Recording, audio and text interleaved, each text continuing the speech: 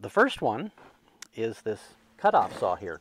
It's cordless, so it takes their, uh, their 18 volt battery. It can take the largest one that they offer, and it's for just generally cutting of metal and masonry when you don't need a whole lot of horsepower. Like this is, this is a fairly small tool. It does have a water connection so that when you're cutting masonry, it keeps the dust down. Well, it completely eliminates dust actually.